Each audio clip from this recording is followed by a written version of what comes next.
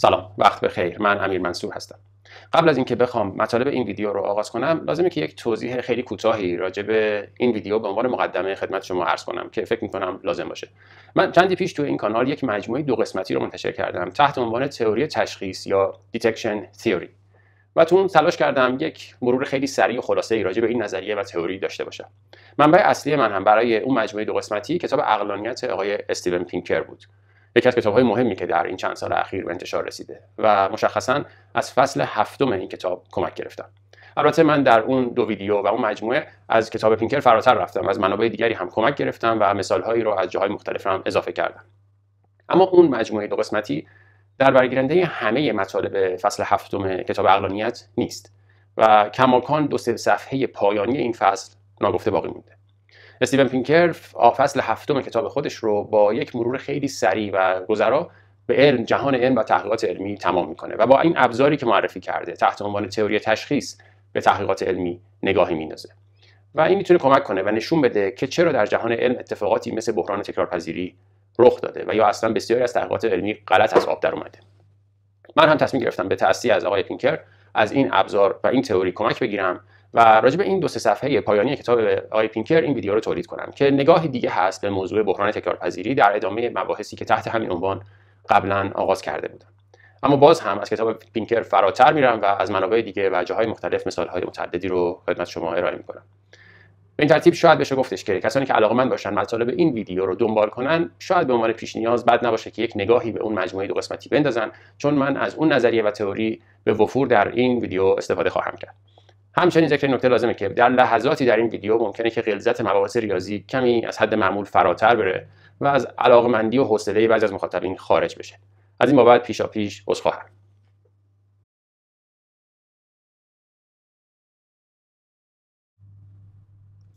یک محقق هم در تحقیقات خودش و حیات علمی خودش اوضاع و احوالش خیلی فرقی با وضعیت ما در زندگی عادی نداره و او هم همون تجربیاتی رو از سر میگذرونه که ما دچارش میشیم. مثلا من از اون رفیقم صحبت کردم که رفتارهایی از اون دختر خانم می‌دید و نمی‌دونست که این رفتارها رو باید به حساب سیگنال بذاره اون دختر خانم بهش علاقمنده یا نه صرفا با نویز مواجه شده و این رفتارها حاصل هیچی نیست و گویای هیچ چیزی نیست و اون دختر خانم چه بسا اصلا رفیق ما رو نمی‌شناسه و اصلا بهش فکرم نمی‌کنه. در این حالت این دوست من نمی‌دونه که این چیزی که داره دریافت می‌کنه رو چه جوری باید تفسیر کنه. وقتی هم که می‌خواد دست به انتخاب بزنه داره در شرایط عدم قطعیت انتخاب می‌کنه. آیا اون خانم رو به یک date دعوت بکنه یا خیر؟ یا مثال دیگه که دادم از یک قاضی بود. قاضی وقتی با یک متهم مواجه میشه نمی‌دونه که این مشاهداتی که در برابرش قرار گرفته ادله و مستندات از روی سیگنال اومده و واقعا این فرد متهم مرتکب تخلف شده و متخلفه یا اینکه نه تصادفا این شواهد و ادله جمع شده و حاصل هیچی نیست و از روی نویز اومده و فردم بیگناهه تو این حالت هم قاضی دو انتخاب داره و باید دست به انتخاب بزنه. یا طرف رو محکوم کنه بندازه زندان و تنبیهش کنه یا اینکه ولش کنه بذاره بره. باز هم تصمیم گیری بین دو حالت در شرایطی که عدم قطعیت حاکم هست. برای یک محقق هم در تحقیقات علمی همین وضعیت برقراره. یک محقق یا دانشمند در تحقیقات خودش معمولا با یک سری دیتا اطلاعات یا مشاهدات مواجه میشه. حالا این مشاهدات می‌تونه از یک پرسشنامه بیاد که از افراد مختلف سوال شده یا یک تحقیقی باشه یا اصلا یک سری آزمایشاتی که در آزمایشگاه صورت داده. در نهایت محقق باید تصمیم بگیره که با این مشاهدات چه کار کنه. آیا این مشاهدات از روی نویز اومده؟ یعنی گویای هیچی نیست و برای این هیچ تفسیر خاصی هیچ قصه خاصی برای این مشاهدات نمی‌تونه ارائه کنه. یا اینکه نه این مشاهدات از روی سیگنال اومده. و این اطلاعات رو می‌تونه در قالب یک نظریه جدیدی تفسیر کنه و توضیح بده. در اینجا با همون منحنی های نویز و سیگنال هم مواجه هستیم. در تحقیقات علمی هم به همون شکل اتفاق میفته که البته من توضیح دادم که ما به این منحنی ها دسترسی نداریم و به تعبیر پینکر فقط خدایان می‌دونن که کجا منحنی نویز برقراره و کجا منحنی سیگنال. و ما انسان های زمینی و من جمله محقق نمی‌دونه که این اطلاعات دقیقا از روی نویز اومده یا سیگنال. البته در ادبیات تحقیقات علمی دیگه از های نویز و سیگنال استفاده نمیشه. به جای نویز از عبارت null hypothesis یا فرض H صفر استفاده میشه و مفهومش همون مفهوم نویزه. یعنی اینکه این مشاهدات و این اطلاعاتی که به دست اومده حاصل هیچیه و براش هیچ قصه ای نمیشه گفت هیچ فرضیه ای نمیشه گفت. اگر هم می‌خوایم این اطلاعات رو تفسیر کنیم باید بر اساس همون فرضیات قبلی که از قبل داشتیم اونها رو توضیح بدیم. هیچ چیز جدیدی رو نمیشه برای اونها معرفی کرد. در برابر سیگنال هم واژه alternative hypothesis یا فرض H1 تعریف میشه. تو این حالت دقیقا همون تعریف و مفهوم سیگنال برقراره. یعنی برای این مشاهدات و دیتا هایی که به دست اومده حالا محقق ما می‌تونه یک فرض جدیدی رو تعریف کنه تا بتونه به کمک این فرضیه جدید این مشاهدات رو تفسیر کنه و توضیح بده. در این حالت در واقع محقق داره یک رابطه جدیدی در عالم رو معرفی می‌کنه و جهان علم رو یک قدم به جلو می‌بره. البته همونطور که توضیح دادم منحنی های H0 و H1 شکل می‌گیره که ما دسترسی به این منحنی ها نداریم و محقق ما صرفا باید برای این اطلاعات تعیین تکلیف کنه. تصمیم گیری در شرایطی که عدم قطعیت وجود داره. تو این حالت شبیه همون کاری که در detection theory توضیح دادم اتفاق میفته محقق ما مجبوره یک نقطه بتا یا cutoff رو تعریف کنه و بر اساس اون تصمیم گیری کنه. اگر این مشاهداتش از اون نقطه cutoff یا بتا فراتر رفت باید اعلام کنه که ما یک فرضیه جدیدی رو پیدا کردیم. یک H یکی رو معرفی کنه و به قول پینکر می‌تونه جشن بگیره و شادی کنه که من یک رابطه جدیدی در جهان علم معرفی و ثبت کردم. یا اگر اطلاعات و مشاهداتش از اون نقطه بتا فراتر نره در این حالت محقق مجبوره که اعلام کنه که من نتونستم فرض H0 رو reject کنم و کماکان دنیا کمافی‌السابق در جریانه. همون روابط قبلی و همون H0 حاکمه و هیچ حرف خاصی نمیشه زد. من توی بحث های مربوط به detection theory توضیح دادم که ما به محض اینکه نقطه بتا رو انتخاب می‌کنیم باید بپذیریم که با دو خطا می‌تونیم مواجه بشیم. اونجا از عبارت های false alarm و miss استفاده کردم. من راجع به دو وجه مثبتی که می‌تونه اتفاق بیفته دیگه صحبت نمی کنم چون همون بحث های قبلی هست. خطای false alarm توی detection theory حالتی بود که ما به اشتباه یه چیزی رو سیگنال تلقی می‌کنیم در حالی که نویز هست. و خطای miss کردن برعکس این بود. وقتی بود که ما متوجه سیگنال نمیشیم و اون رو به حساب نویز اعلام می‌کنیم در حالی که واقعا یک سیگنالی وجود داشته. همین عبارت ها در ادبیات تحقیقات علمی هم وجود داره اما با یک تغییر. به جای false alarm از عبارت خطای نوع یک استفاده میشه و به جای miss کردن از عبارت خطای نوع دو. و مفهومش همون حالت قبلی هست که حالا در این قالب دوباره توضیح میدم. وقتی ما میگیم خطای نوع یک اتفاق میفته یعنی محقق ما به اشتباه اعلام می‌کنه که یک فرضیه جدیدی به وجود اومده. یه اچ یکی رو معرفی می‌کنه و در جهان علم اون رو اعلام می‌کنه در حالی که داره اشتباه می‌کنه. و این چیزایی که مشاهده کرده از روی اچ صفر اومده از روی نویز اومده و بی جهت در واقع خلاصه خوشحالی کرده. به این حالت میگن خطای نوع یک. یا به تعبیر دیگه میشه گفت خطای نوع یک وقتی رخ میده که هیچ اتفاقی نیفتاده. اما ما بی جهت دچار اعلام فرضیه جدید میشیم. یا به شکل متقارنش و در حالت دیگه می‌تونه خطای نوع دو اتفاق بیفته که البته باز همون مفاهیم قبلی هست. توی خطای نوع دو محقق ما اعلام می‌کنه که ظاهرا اچ یکی در کار نیست و فرض جدیدی وجود نداره و همه چی رو باید با همون اچ صفر قبلی توضیح بده و تفسیر کنه و داره اشتباه می‌کنه. تو این حالت واقعا یک فرضیه جدیدی وجود داره و محقق شاید به درستی بو برده که فرضیه جدیدی وجود داره اما حالا بدشانسی آورده یا حالا هر اتفاقی افتاده مشاهداتش اونقدر کافی و قوی نبوده که اعلام کنه که حالا اچ یکی در کاره. بلکه میگه که کماکان اچ صفر برقراره. تو این حالت خطای نوع دو اتفاق میفته. خیلی واضحه که خطاهای نوع اول و نوع دوم هر دوشون به جهان علم آسیب می‌زنن. البته آسیب هاشون شکل های مختلفی داره. خطای نوع یک در واقع به اعتبار علم آسیب می‌زنه. وقتی ما دچار خطای نوع یک میشیم یعنی بی جهت یک چیزی رو به عنوان یک فرضیه جدید در جهان علم مطرح می‌کنیم و بی جهت H صفر رو reject می‌کنیم در حالی که داریم اشتباه می‌کنیم و کماکان H صفر برقراره و این کار رو به غلط انجام دادیم.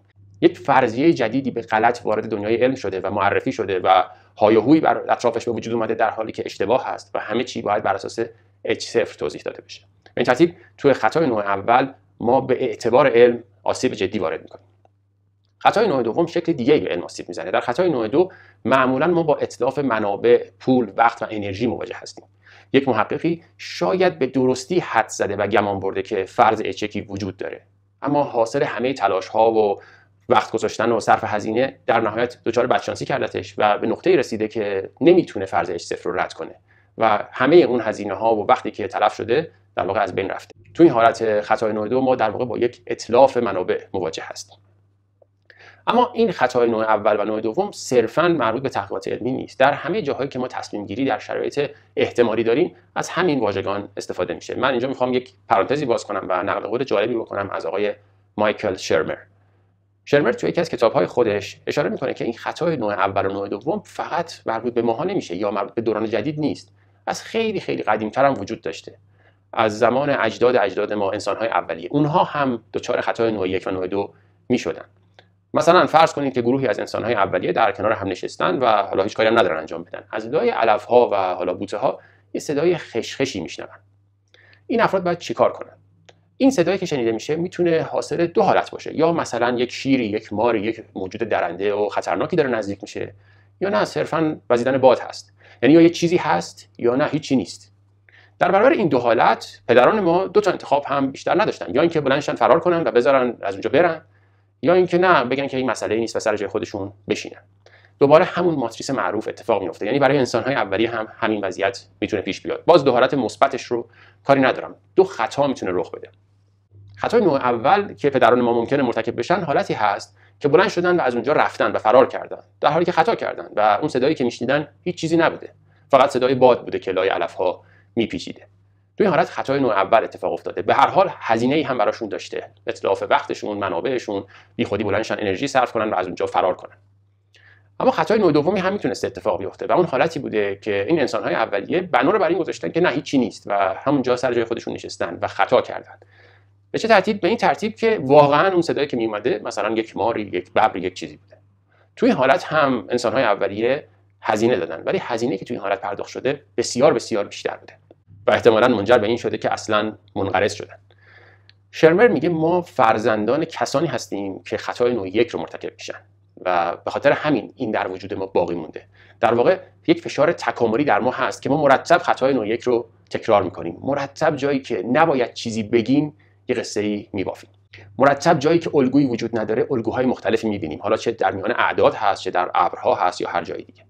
این حرفی که مایکل شرمر داره ذکر می‌کنه در واقع میشه گفت مبنای تکاملی همون بحث narrative fallacy آقای نسیم نیکولاس طالب هست. اگر یادتون باشه اونجا هم نسیم طالب میگفتش که وقتی ما با یک مجموعه complex و پیچیده مواجه میشیم انگار اصلا برامون سخته که قصه ای نبافیم و حتما باید یک چیزی بگیم و یک روایتی رو بهش بچسبونیم. در دلیلش دلیل تکاملیه. ما فرزندان کسانی هستیم که استاد قصه بافتن بودن و تو هیچی چیزی می‌دیدن و اصلا به خاطر همین زنده موندن. و ما در این عالم هم هستیم به خاطر اینکه این خطای نوع یک رو مرتب مرتکب میشیم. شاید روزگاری خطای نوع یک کمک کرده که ما در این عالم باقی بمونیم. اما به نظر می‌رسه در روزگار جدید این خطا واقعا شکل خطا داره و داره آسیب های زیادی می‌زنه که در ادامه بیشتر راجع بهش صحبت می‌کنم.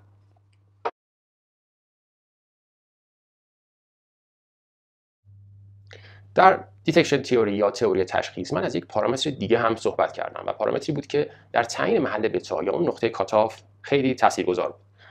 این پارامتر فاصله بین منحنی های نویز و سیگنال تعریف شد که اون رو با d prime نمایش دادم و تحت عنوان حساسیت تعریف کردم. هر چقدر میزان حساسیت یا d prime بیشتر باشه یعنی منحنی های نویز و سیگنال از هم دورتر هستند در این حالت وقتی ما با یک سری اطلاعات و data مواجه میشیم برامون ساده تره که تشخیص بدیم این اطلاعات از نویز اومده یا نه از سیگنال به دست اومده. توی این حالت تعیین محل بتا و نقطه cutoff ساده است. و برعکس اگر عدد d prime عدد کوچکی باشه در این حالت یعنی دو تا منحنی تداخل زیادی دارن و همپوشانی بزرگی بینشون اتفاق افتاده. تو این حالت وقتی من با یک سری اطلاعات مواجه میشم نمی‌دونم که اینا از سیگنال به دست اومده یا از نویز و تعیین محل بتا بسیار سخته. توضیح دادم که مقدار پارامتر d prime رو بر اساس ضریبی از انحراف معیار نمایش میدن. و مثلا جایی که d prime مساوی با 10 سیگما باشه یعنی منحنی ها انقدر از هم دور هستن که با خیال راحت می‌تونیم بتا رو انتخاب کنیم. یا مثلا جایی که d prime مساوی با نیم سیگما هست یا اصلا d prime مساوی با صفر هست یعنی اوضاع خیلی خرابه و دیگه تشخیص اینکه کدوم نویزه و کدوم سیگنال به غایت دشوار میشه.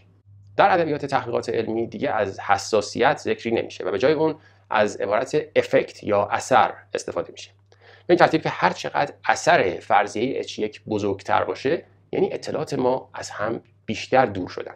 تو این حالت تشخیص اینه که H1 برقراره یا H0 ساده تره. تو این حالت ما بتا رو راحت تر می‌تونیم انتخاب کنیم.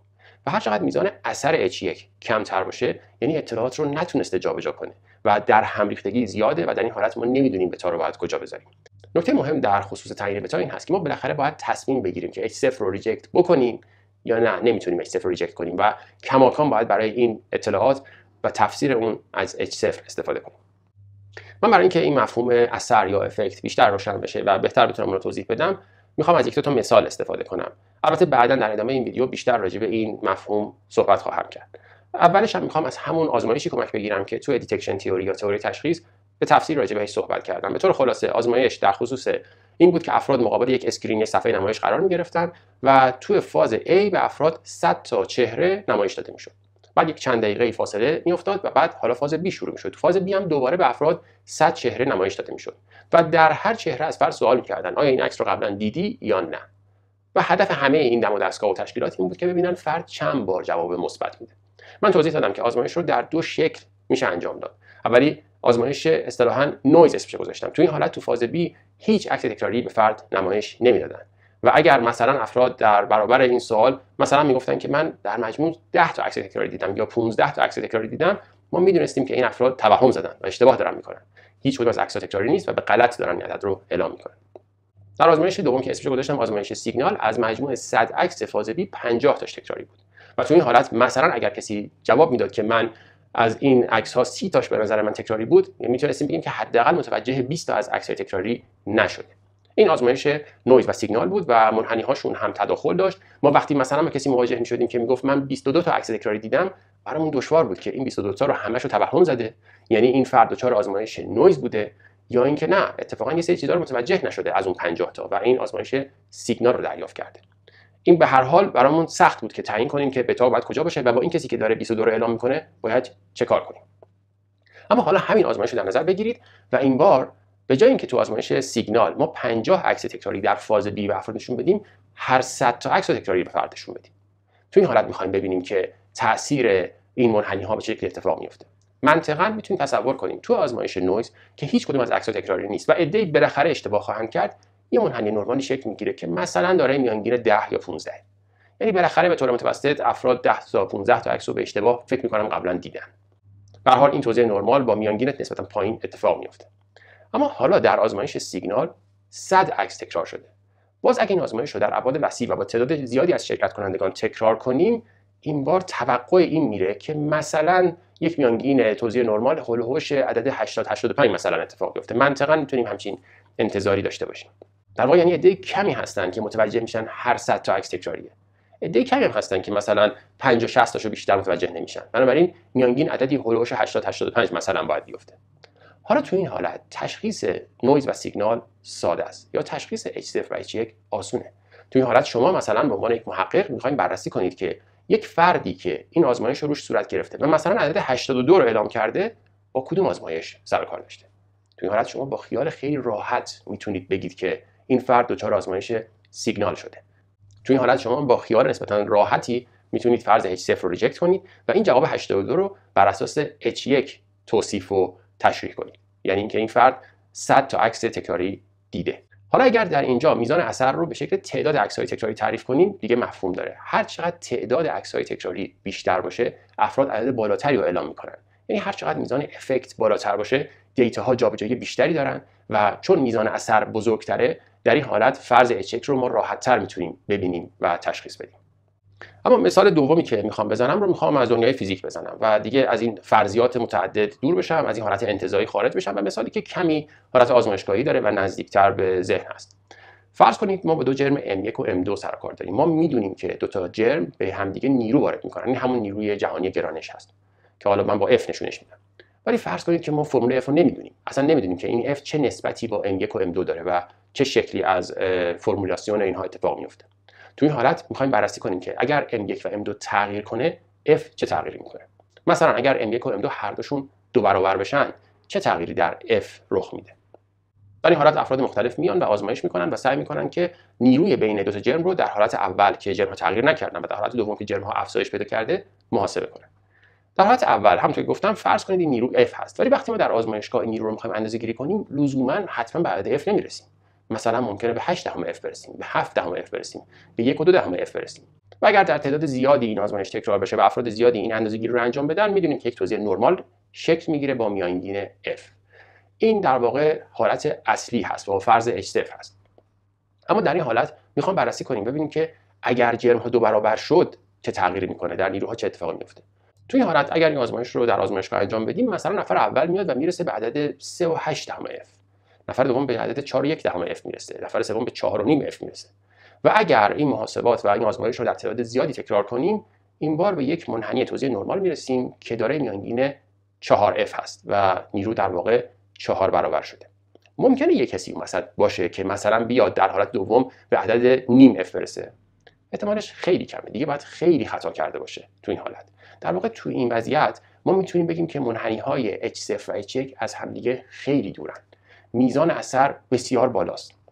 یعنی که وقتی که ما جرم M1 رو دو برابر کنیم و جرم M2 رو هم دو برابر کنیم تاثیر اینها در اندازه F بسیار بالاست. نکته که مهمه اینه که فاصله بین یک تا چهار نیست که عدد زیادیه. من همونطور که گفتم اندازه اثر رو بر اساس ضریبی از سیگما تعریف می‌کنن. ممکنه اینکه این آزمایش رو در آزمایشگاه انجام بدیم مثلا به عدد 50 سیگما برسیم. یعنی این دو تا منحنی نرمالی که اتفاق میفته خیلی شدید هر دوشون هولوش F و هولوش 4F متراکم هستن. و به این ترتیب فاصله بین اینها به صورت ضریبی از سیگما بسیار بالا قرار می‌گیره. تو این وضعیت وقتی یک نفری این آزمایش رو انجام میده و مثلا به عدد 3 و 8 دهم F می‌رسه ما با خیال راحت می‌تونیم بگیم که این اثر دو برابر شدن جرم ها هست. و برای این حالت می‌تونیم با خیال راحت فرض H0 رو reject کنیم. تو این حالت فرض H0 این هست که اگر جرم M1 و M2 دو برابر بشه نیروی بین اینها تغییر نمی‌کنه و کماکان همون F قبلی هست. می‌تونیم با خیال راحت بگیم که نه دیگه اون قبلی نیست و اون reject شده و حالا طبق محاسبات می‌تونیم به عدد 4 F برسیم.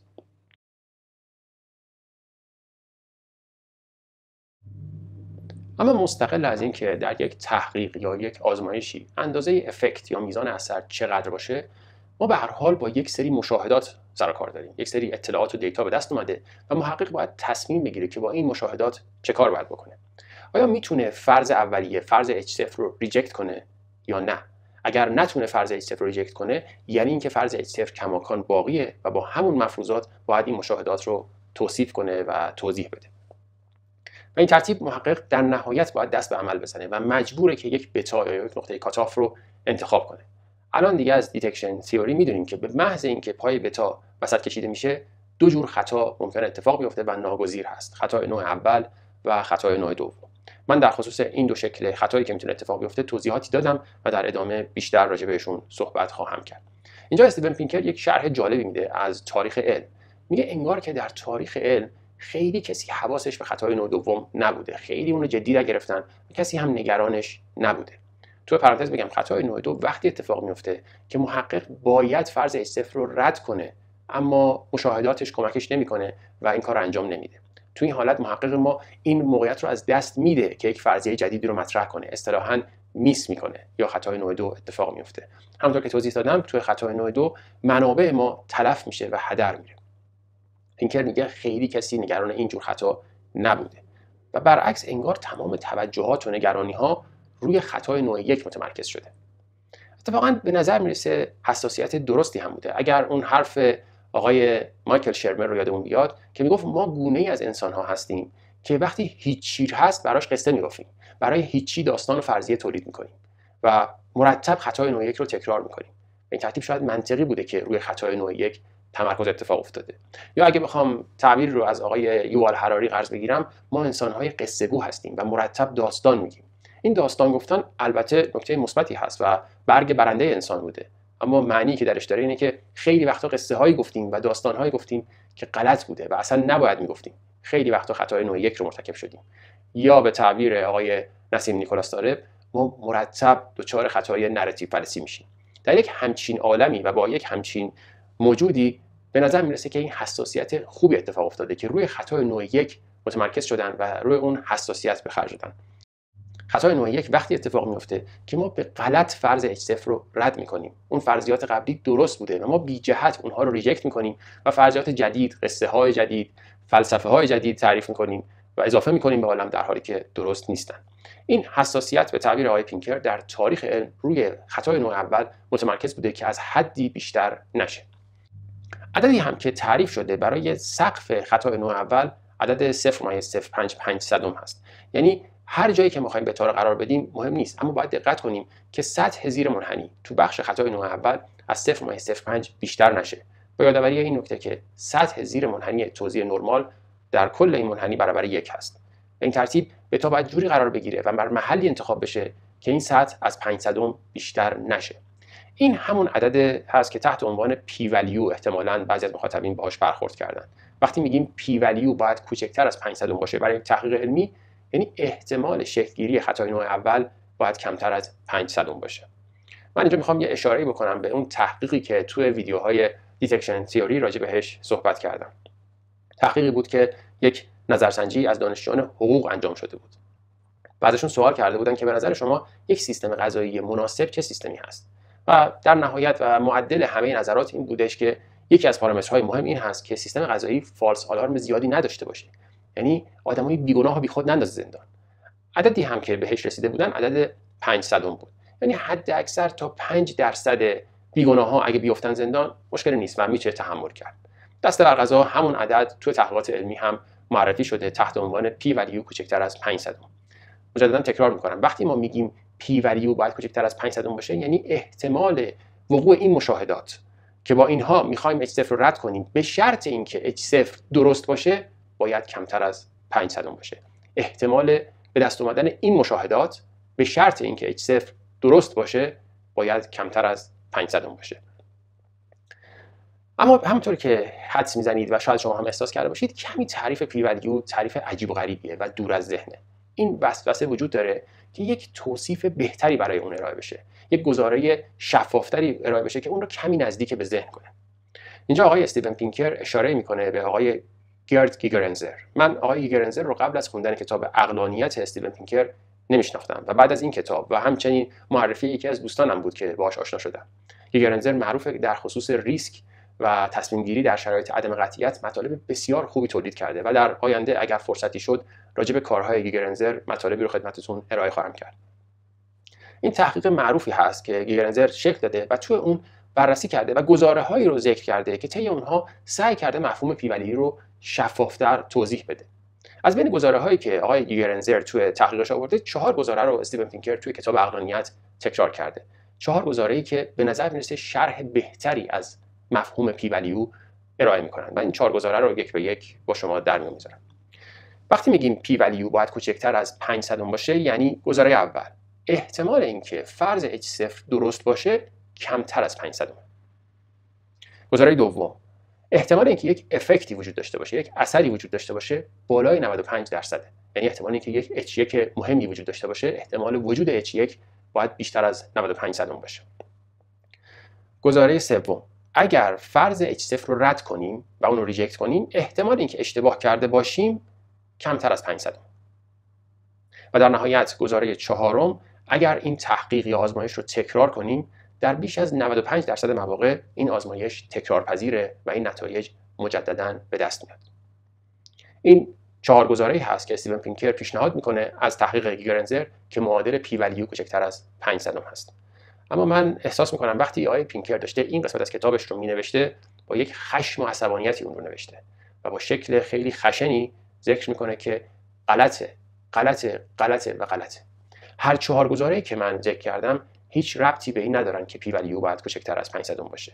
و اگر احساس می‌کنیم که اینها یکی هستن یک اشتباه و مغالطه بزرگ شکل گرفته. گرنزر تو تحقیق خودش ذکر می‌کنه که بیش از 90 درصد اساتید دانشگاه در رشته روانشناسی نمی‌فهمن که این چهار گزاره و پی ولی کوچکتر از 500 با هم فرق می‌کنن. و بدتر از اون 80 درصد اونها که در کار تدریس آمار هم هستن متوجه این تفاوت نمیشن. این یکی از بزرگترین مشکلاتی هستش که در جهان علم رخ داده. یک مغالطه عظیمی شکل گرفته و بر اساس این مغالطه های دیگری اتفاق افتاده که هزینه های زیادی در عالم به وجود آورده. یکی از اون هزینه ها بحران تکرارپذیری هست و موارد متعدد دیگری که در آینده راجع بهش صحبت می‌کنم. اما کجای کار خرابه؟ چه اشکالی وجود داره که این چهار گزاره ربطی به عدد پی ولیو ندارن؟ برای اینکه نشون بدم که چرا این چهار گزاره ربطی به مفهوم پی ولیو ندارن من لازم هست که یک چند دقیقه راجع به تئوری احتمالات و مشخصا احتمالات شرطی صحبت کنم. البته در آینده در ویدیوهای مستقلی راجع به احتمالات شرطی مطالبی رو عرضه خواهم کرد. اما اینجا فقط می‌خوام راجع به مفهوم و یک عدم تساوی صحبت کنم. ما وقتی میگیم احتمال A به شرط B رو می‌خوایم حساب کنیم یعنی احتمال وقوع A به شرط اینکه B رخ داده باشه یا B صحتش تایید شده باشه رو می‌خوایم بررسی کنیم. خیلی کاری با مفاهیم احتمالات شرطی ندارم. فقط می‌خوام به این نکته اشاره کنم. که احتمال A به شرط B و احتمال B به شرط A با هم فرق می‌کنن. شاید به نظر بدیهی بیاد. برای این نابرابری و نامساوی دلایل زیادی میشه آورد. مثلا میشه اشاره کرد به تفکر نقاد و critical thinking رابطه گم شده ای در تاریخ وجود داره بین منطق و احتمالات. ما توی منطقی گزاره خیلی معروف داریم و اون اینه که P آنگاه Q و Q آنگاه P معادل هم نیستن و با هم فرق دارن. اگر ما از P بتونیم Q رو نتیجه بگیریم دلیل نداره که از Q هم بتونیم P رو نتیجه بگیریم. مثال معروفش رو شاید شنیده باشید. همون مسئله معروف هر گردوی گرده ولی هر گردی گردو نیست. در واقع از گردو بودن ما می‌تونیم نتیجه بگیریم که این شیعی که داریم حتما باید گرد باشه. اما وقتی یک شی یا یک object ی داریم که گرد باشه نمی‌تونیم نتیجه بگیریم که حتما باید گردو باشه. این دو تا معادل هم نیستن. در طی یک فرآیند تاریخی این مسئله منطقی وارد احتمالات هم شده و در نهایت منجر به این میشه که P A به شرط B با P B به شرط A با هم یکی نیستن. به طریق فرمول هم میشه اینو نشون داد. برای P A به شرط B یک فرمول ساده وجود داره که مساوی هست با P A اشتراکش با B تقسیم بر P B. و به شکل متقارن برای P B به شرط A می‌تونیم بگیم P B اشتراکش با A تقسیم بر P A. همونطور که تو فرمول هم نگاه می‌کنید دو تا کسر مثل هم نیستن بنابراین احتمالات شرطی قابلیت جابجایی ندارن و با هم یکسان نمیشن. میشه از نمودار ون هم کمک گرفت. وقتی که من دو تا مجموعه مثلا داشته باشم مجموعه A و B وقتی دارم از P A به شرط B صحبت می‌کنم یعنی اون ناحیه مشترک باید تقسیم بشه بر مجموعه B. و وقتی از پی B به شرط A صحبت می‌کنم یعنی اون ناحیه مشترک باید تقسیم بشه بر مجموعه A. و به طب اگر A و B با هم فرق داشته باشن که در اکثر مواقع فرق دارن این دو احتمال شرطی یکسان نیستن. اما اینها چه ربطی داره به اون گزاره ها؟ واقعیت قضیه اینه که تو اون گزاره ها هم ما داریم در خصوص یک احتمال شرطی صحبت می‌کنیم. اول برمیگردم به تعریف خطای نوع اول. همونطور که قبلا گفتم خطای نوع اول وقتیه که ما این مشاهدات رو به دست بیاریم و با این مشاهدات عجیب و غریب بخوایم فرض H0 رو ریجکت کنیم اما H0 درست باشه. یعنی احتمال وقوع این مشاهدات به شرط H0 باید کمتر از 500 باشه. این معنی احتمالات شرطی برای مفهوم پی احتمال مشاهدات به شرط درستی و صحت H0 باید کمتر از 500 باشه. اما تو اون گزاره ها داره از احتمالات شرطی صحبت می‌کنه اما از احتمالات دیگری داره حرف می‌زنه. مثلا اگر به گزاره اول نگاه کنیم داره میگه احتمال اینکه فرض H0 با وجود این مشاهدات درست باشه کمتر از 500 یعنی تو این حالت داره احتمال H0 رو حساب می‌کنه به شرط وقوع این مشاهدات. و دقیقا جابجا شده. ما تو این حالت داریم احتمال H0 رو به شرط این اطلاعات و دیتا ها و مشاهدات بررسی می‌کنیم در حالی که توی خطای نوع اول برعکسه. یا مثلا توی گزاره دوم داره میگه احتمال اینکه یک افکتی وجود داشته باشه احتمال اینکه یک H1 وجود داشته باشه بالای 95 صدمه. یعنی احتمال وجود H1 به شرط این مشاهدات بیش از 95 درصده. باز هم همونطور که می‌بینید این بار به شرط مشاهدات داره حساب میشه در حالی که در P-value ما احتمال مشاهده رو حساب می‌کنیم. یک جابجایی بین A و B اتفاق افتاده. همینطور در مورد گزاره سوم و گزاره چهارم هم همین مغالطه تکرار شده. اما ذکر یک نکته دیگه هم اینجا لازمه. اگر برگردیم به احتمالات شرطی P A به شرط B و P B به شرط A و توضیح دادم که این دو مساوی با هم دیگه نیستن به نظر می‌رسه اینا هیچ ربطی به هم ندارن. اما واقعیت اینه که اینها از طریق یک قانون بسیار مهم در این عالم به هم مربوطن و اون قانون بیز هست. قانون بیز تنها قانونیه که می‌تونه کمک کنه ما احتمالات شرطی رو جابجا کنیم. یعنی از روی P A به شرط B با داشتن دو عامل دیگه می‌تونیم P B به شرط A رو هم پیدا کنیم. اما متاسفانه در مفهوم P-value اون عوامل دیگه وجود ندارن و ما نمی‌تونیم از احتمال مشاهده به احتمال H0 یا H1 به شرط مشاهده برسیم. این رابطه انگار گم شده و وجود نداره و همین یکی از دلایل اصلی شکلگیری بحرانی مثل بحران تکرارپذیری هست.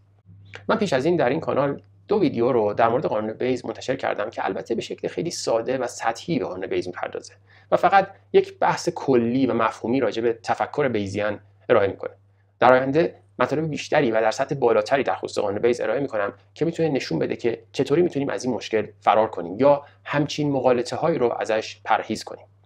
نکته دیگه هم که شاید ذکرش بد نباشه این هست که قانون بیز به تعبیر آقای دنیل کانمن به شکلی هست که شاید درک و دریافتش برای سیستم یک ما کمی دشواره کمی دور از ذهنه که به شکل شهودی قانون بیز رو دقیق درک کنیم و هر بار که می‌خوایم باهاش ارتباط برقرار کنیم باید سیستم دومون رو فعال کنیم و کلی فکر کنیم که چی به شرط چی رو داریم بررسی می‌کنیم. اما اگر این کار تکرار بشه مثل خیلی از کارهای دیگه ای که سیستم دو رفته رفته محول می‌کنه به سیستم یک درونی میشه و به شکل شهودی عالم رو به صورت منطق بیزیان می‌تونیم ببینیم. شاید این یکی از بزرگترین قدم ها باشه که ما به سمت اقلانیت می‌تونیم برداریم. و شاید این یکی از پیام های بسیار مهم بین خطوط کتاب اقلانیت آقای استیون فینکر هست که چطور می‌تونیم منطق بیزیان رو در خودمون تقویت کنیم. اما اگر بخوام برگردم به منطق پی ولیو و چیزی که تحت عنوان معنیداری آماری طرح میشه همونطور که اشاره شد داره اشکالات زیادی هست و منجر شده به اینکه استانداردی که برای فیلتر کردن تحقیقات علمی وجود داره درست کار نکنه. و در نهایت منجر شده به این شکل بحران تکرارپذیری که صحبتش رو خدمتتون عرض کردم. در واقع استاندارد یه جایی ایراد داره و باید عوض بشه یا اصلاح بشه. بر اساس همین بود که در سال 2019 بیش از 800 نفر از دانشمندان در یک پتیشن و یک نامه سرگشاده اعلام کردند که باید معنیداری آماری و پی ولیو به طور کلی حذف بشه و استاندارد دیگری جایگزین بشه تا بتونه بهتر عمل کنه و راستی آزمایی تحقیقات علمی رو تضمین کنه.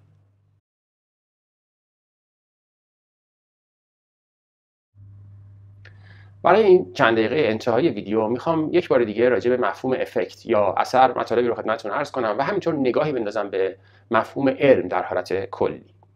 من راجع به یک آزمایش فیزیکی صحبت کردم و گفتم که اگر دو جرم M1 و M2 رو داشته باشیم که به همدیگه یک نیروی گرانشی وارد می‌کنن اگر هر کدوم از جرم ها رو دو برابر کنیم آیا نیروی گرانشی تغییر می‌کنه یا نه؟ توی این آزمایش و در این حالت اگر فرض H0 رو اعلام کنیم که خیر نیروی گرانش تغییر نخواهد کرد این فرض H0 رو خیلی ساده ما می‌تونیم ریجکت کنیم. مشاهدات واضحی به دست میاد که اندازه اثر بالایی رو نشون میده که راجع بهش صحبت کردم. تو این حالت ما فاصله زیادی بین منحنی های H0 و H1 بین منحنی نویز و سیگنال داریم و به سادگی می‌تونیم تعیین تکلیف کنیم که چی رو تغییر می‌کنه. این مشخصه علومی هست که بهشون میگن علوم سخت یا hard science مثلا فیزیک یا شیمی به این گروه علوم تعلق دارند در این دسته از علوم میشه یک پارامتر رو تغییر بدیم به طوری که پارامترهای دیگه دست نخورده باقی بمونن. و به شکل واضحی میشه دید که اثر یا effect تغییر اون یک پارامتر چقدر هست و در کل مجموعه چه تأثیری می‌ذاره. در برابر علوم سخت بالطبع علوم نرم داریم یا soft science علومی مثل روانشناسی، جامعه شناسی، مردم شناسی و به طور کلی علوم اجتماعی. در این علوم دیگه مسئله به این سادگی نیست. نمیشه یک پارامتر رو تغییر بدیم و شرایط کلی دست نخورده باقی بمونه. وقتی یک پارامتر عوض میشه به شکل زنجیروار به شکل complex و بسیار پیچیده ای بقیه پارامترها هم دچار تغییر میشن. در این حالت برفرض که اگر در کل سیستم یک تغییری حاصل بشه اون وقتی که نمیشه به سادگی اعلام کرد. این تغییر به خاطر effect یا اثر اون یک پارامتر هست یا پارامترهای دیگه یا اصلا حاصل هیچیه و بر اثر نویز به وجود اومده و براش نمی‌تونیم هیچ قصه ای بگیم. در این علوم اون وقت دیگه منحنی های H0 و H1 تداخل زیادی دارن و ما نمی‌تونیم تشخیص بدیم کجا سیگنال حاکمه و کجا نویز. و به این ترتیب به سادگی نمیشه اندازه اثر و میزان effect رو تعیین کرد. در سال 2017 یک کتاب بسیار معروف و مهمی منتشر شد تحت عنوان چرا ما میخوابیم. نویسنده کتاب آقای متیو واکر که خودش عصبشناس و روانشناس هست تو این کتاب سعی کرده به ما نشون بده که خوابیدن امر مهمیه. در کنار همه بحثایی که در این کتاب شکل گرفته اگر بخوام از منظرگاه افکت یا اثر بهش نگاه کنم آقای واکر می‌خواد بگه که خوابیدن موثره افکت داره افکتیوه و می‌تونه تغییرات بزرگی رو ایجاد کنه. و به طب برای این مدعای خودش باید شواهدی ارائه کنه جدول نمودار و محاسبات مختلفی که نشون بده تاثیر خواب چقدر هست. مثلا آقای واکر در یک نموداری که نمودار معروفی هم هست نشون میده که مثلا ساعتهای خوابیدن چه تأثیری روی شانس مصدومیت ورزشکاران داره. ایشون در این نمودار نشون میده که مثلا ورزشکارانی که کمتر میخوابن اونایی که 6 ساعت میخوابن با شانس بالاتری مصدوم میشن و هر چقدر میزان خوابیدنشون بیشتر باشه شانس مصدومیت کاهش پیدا می‌کنه. البته راجع به این نمودار میشه بحث های فلسفی کرد. آیا واقعا خوابیدن باعث میشه که شانس مصدومیت کم بشه؟ یا اون کسایی که با شانس بالاتری مصدوم میشن چون شبا درد می‌کشن بیچاره‌ها نمی‌تونن بخوابن بنابراین ساعت‌های کمتری میخوابن. یا اصلا ممکنه یک عامل دیگه ای مثل مثلا X باشه عاملی که هم باعث میشه فرد مصدوم میشه و همین که نمی‌تونه بخوابه. فرض کنید که از این های فلسفی عبور کنیم و استدلال آقای واکر رو قبول کنیم که رابطه علی معلولی روشنی بین تعداد ساعت خوابیدن و شانس مصدومیت یک ورزشکار وجود داره. در واقع آقای واکر به کمک این نمودار می‌خواد نشون بده که خوابیدن موثره افکتیوه و برای ورزشکار می‌تونه تاثیر زیادی بذاره. اما یک مشکل کوچیکی وجود داره و اون اینه که این نمودار رو آقای متیو واکر از یک تحقیقی برداشته و عین اصل نمودار رو در کتاب خودش منتشر نکرده. اگر بخوایم به تحقیق اصلی مراجعه کنیم در واقع اونجا با یک همچین نموداری مواجه هستیم. همونطور که می‌بینید دیگه میزان اثر به اون وضوح نیست. مثلا اگر شما یک ورزشکاری باشید و بر فرض شبی 6 ساعت میخوابید که شانس مصونیت بسیار بالایی دارید طبق نمودار اصلی و اگر همون منطق علی رو با اغماز قبول کنیم شما برای اینکه شانس مصونیتتون کم بشه دو راه دارید. یا اینکه شبا یک ساعت بیشتر بخوابید یا اینکه شبا یک ساعت کمتر بخوابید. چون کسانی که 5 ساعت هم میخوابن شانس مصونیتشون کاهش پیدا می‌کنه. اما این به درد کتاب آقای متیو واکر نمی‌خوره. ایشون برای اینکه نشون بده که افکت بالایی وجود داره قسمت چپ منحنی رو حذف می‌کنه و با یک منحنی دستکاری شده توی کتابش مواجه میشیم. تو اینجا هست که اندازه اثر بالاست. و می‌تونه ما رو مجاب کنه که بگیریم بخوابیم. در حالی که واقعیت موضوع پیچیده تر و complex تر از این حرف‌هاست و نمیشه به این سادگی اثر یک پدیده رو خیلی روشن نشون داد. در خصوص کاری که آقای متیو واکر تو این کتاب ارائه کرده الان دیگه تقریبا محرز شده که ما با یک تقلب وسیع علمی مواجه هستیم. مواردی که ایشون در اطلاعات دستکاری کرده و نمودارها رو جابجا کرده شبیه چیزی که بهتون نشون دادم کماکان داره پیدا میشه و در تحقیقات مفصلی راجع بهش صحبت میشه. بسیار از ادعاهایی که ایشون کرده تکرار شده و قابلیت تکرار پذیری نداشته. اما متاسفانه کتاب ایشون کماکان توسط بسیاری از وبسایت ها و مراجع بسیار زی صلاح داره توصیه میشه و مورد استقبال هم قرار می‌گیره. سخنرانی های ایشون مورد استقبال قرار می‌گیره در حالی که ما با یک تقلب دقیق علمی مواجه هستیم. اما حالا فرض کنیم یک محققی در تحقیقات خودش واقعا تقلب نکنه و واقعا خیلی صادقانه اطلاعات رو بررسی کنه و اونها رو به آزمون پیولیو و معنیداری آماری بسپره و واقعا از معنیداری آماری سربلند بیرون بیاد. اشکال کجاست؟ من تو قسمت قبل توضیح دادم که درصد بزرگ از دانشمندان و حتی اساتید دانشگاه معنی و مفهوم معنیداری آماری رو نمی‌فهمند و اون اشتباه متوجه شدن. اما خب اشکال کجاست؟ ما خیلی وقتا یک ابزاری رو دقیق نمی‌فهمیم و نمی‌دونیم چجوری کار می‌کنه. ولی صرفا ازش استفاده می‌کنیم و کار ما رو را میندازه. در این حالت چه اشکالی می‌تونه به وجود بیاد؟ فرض کنید که یک تحقیقی صورت گرفته و در اون اعلام شده که اگر شما می‌خواید با یک مشکلی مواجه بشید اگر ادا اصولی از خودتون در بیارید مثلا صداتون رو کلفت کنید سینه‌تون رو بدین جلو و خیلی ادای آدمای قدرتمند رو بگیرید این در موفقیت شما موثر باشه. این یک ادعاست. یعنی فرض اچ صفر این هست که این ادا اصول و بازی ها اثری نداره و فرض اچ این هست که نه موثره و میشه فرض اچ صفر رو رد کرد. در این حالت تصور کنید که تحقیقاتی صورت می‌گیره و به شکل خیلی صادقانه دنبال این هستیم که حتما عدد پی ولیو کوچکتر از 5 درصد باشه. یعنی اینکه اگر مثلا 20 گروه تحقیقاتی در حال تحقیق راجع به این اطوارها هستند احتمالا 19 تاشون به نتیجه نمی‌رسن ولی یکیشون می‌تونه به نتیجه برسه و اون یکی فقط و فقط حاصل شانس و تصادف بوده. اما مشکلی که پیش میاد اینه که اون 19 گروهی که تحقیقاتشون به نتیجه نرسیده چه حرفی برای گفتن دارن؟ اونها نمیان کتاب چاپ کنن که بگن که این ادا اطفارا و این بازی ها موثر نیست. اولا اینکه این کتاب رو کسی چاپ نمی‌کنه. بر فرض هم که چاپ کنن من و شما این کتاب رو نمی‌خریم بخونیم. چون در مورد چیزهایی که در عالم موثر نیست دلیل نداره ما بخوایم دنبال کنیم و چیزی بخونیم. ما دنبال این هستیم که فهمیم که چیزی موثره. اما از بین این 20 گروه یک گروه بود که به شکل تصادفی و البته صادقانه اطلاعاتش معنیدار شد. در این حالت اون یک گروهی که فقط کتاب خودش رو منتشر می‌کنه و از یک اثر بزرگ صحبت می‌کنه. از این اثر که اگر بله مثلا شما می‌خواین یه جا استخدام بشین بهتره که یک قیافه قوی از خودتون بگیرید. اصطلاحا power posing کنید. و این موثره. اگر شک دارین من تحقیقاتم به شما نشون میدم که عدد P-value کوچکتر از 500 به دست اومده. اما ما الان می‌فهمیم که این هیچ معنی نداره. این چیزی که براتون توصیف کردم حاصل یک توهم و خیال نبوده. خانم امی کادی کسی هست که این کتاب رو نوشته و از قبل این کتاب بسیار منتفع شده. تتاک ایشون الان پربیننده ترین هست در مجموعه سخنرانی های تد و کماکان هم ایشون داره در خصوص این موارد صحبت می‌کنه. علا رغم این که بسیاری از حرفایی که زده تکرار پذیری نداشته و وقتی که دوباره اون روند تکرار شده موفق نبوده. اما دیگه کسی به این مسائل توجه نمی‌کنه. کتاب ایشون کماکان جزء پرفروش در این کتاب هاست و عواید بسیار زیادی رو برای سفر خانم در پی داشته. من پیش از این توی این مجموعه بحران تکرارپذیری اشاره کردم که به نظر می‌رسه علوم سخت یا hard science مثل فیزیک یا شیمی انگار توی بحران تکرارپذیری سربلندتر بیرون اومدن و تحقیقاتشون قابلیت تکرارپذیری بیشتری داشته. و برعکس بخش soft science یا علوم نرم دچار مشکل شدن و بسیاری از ادعاهاشون تجدید پذیر نبوده و قابلیت تکرار نداشته. با توضیحی که در خصوص effect دادم شاید منطقی باشه. در واقع در بسیاری از این تحقیقات چیزی که مشاهده شده صرفا نویز بوده و این انتظار طبیعیه که نویز قابلیت تکرارپذیری نداشته باشه. نویز حالت random و تصادفی داره و اگر دوباره تکرار بشه نتایج قبلی رو به دست نمیده.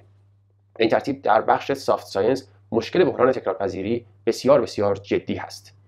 اما اینجا حالا میشه صحبت کرد و بحث کرد اصلا در خصوص اینکه مفهوم علم چیه و اصلا ما به چه چیزی می‌تونیم علم بگیم. اگر قابلیت تکرارپذیری و قابلیت تست شدن از شروط اصلی این باشه که یک مفهوم رو علم تلقی کنیم اون وقت به نظر می‌رسه بحث های خیلی جدی مطرحه که اصلا ما چه چیزی رو می‌تونیم اسمش رو علم بذاریم یا نه.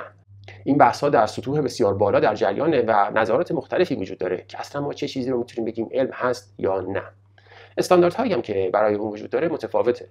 مثلا یکی از معروفترین اونها رو از یک سو کسی مثل آقای کارل پوپر ارائه کرده فیلسوف شهیر علم. که به نظر می‌رسه استاندارد بسیار سختگیرانه و حساسیت برانگیزیه.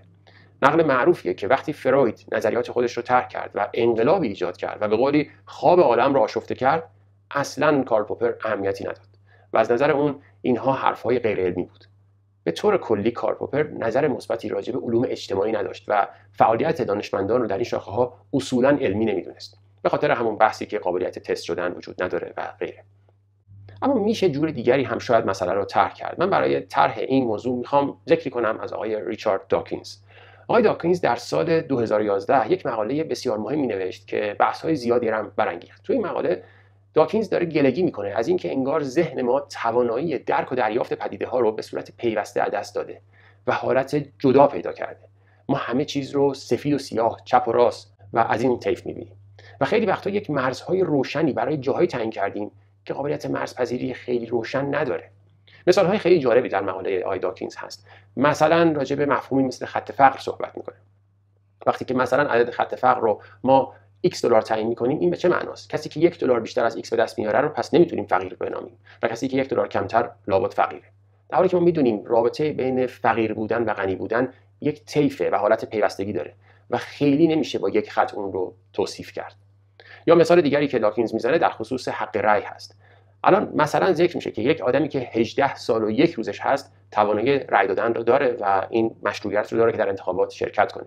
اما کسی که مثلا 17 سال و 364 روز سن داره ازش پذیرفته نیست که رأی بده که ظاهرا شاید عقلش نمی‌رسه. آیا واقعا یک روز این تاثیر بزرگ رو می‌ذاره؟ اینجا هم به نظر می‌رسه ما با یک حالت پیوسته مواجهیم و خیلی مرز روشنی وجود نداره. من به تاثیر از این استدلال و حرف آقای ریچارد داکینز می‌خوام اشاره کنم که به نظر می‌رسه یک نگاهی هم در خصوص علم به این شکل وجود داره که انگار دیگه اون تیغ تیز و برنده کارپوپر شاید کارگر نباشه. شاید تو این حالت بتونیم بگیم که ما با یک طیف سر کار داریم. طیفی که از یک سو پدیده ها علمتر هستند و از سوی دیگه کمتر علم میتلقی میشن.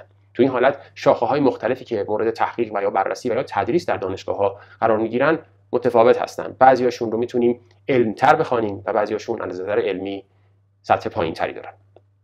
خیلی ممنونم که به عرایز بنده توجه فرمودید و ارادت.